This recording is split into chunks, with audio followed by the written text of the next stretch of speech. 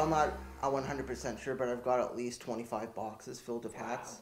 Hats off to a local Penticton collector who claims he has over 10,000 baseball caps in his collection. I've collected thousands of caps, but I'm not really sure of the exact count, but I'm assuming I've got at least 10,000. Zintz has been collecting caps since 1998.